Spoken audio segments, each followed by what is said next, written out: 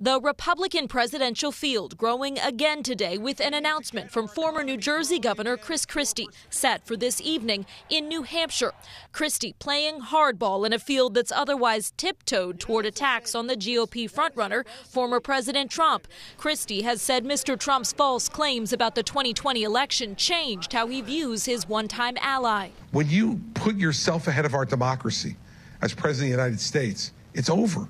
But the former governor is only polling around 1% and this his second presidential bid.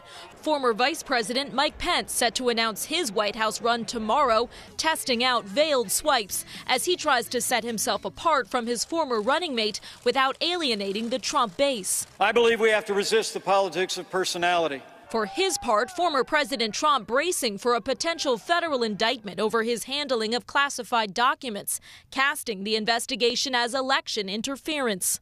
Is an indictment coming soon, sir? The man leading the probe, independent special counsel Jack Smith, staying quiet today after meeting yesterday with members of the Trump defense team. It is typically the last step before we walk into the grand jury, offer them proposed charges, and ask them to vote out an indictment. At the same time, sources familiar telling NBC News a federal grand jury hearing evidence in the case is set to meet in Florida this week, where the classified documents were stored at the former president's Mar a Lago estate.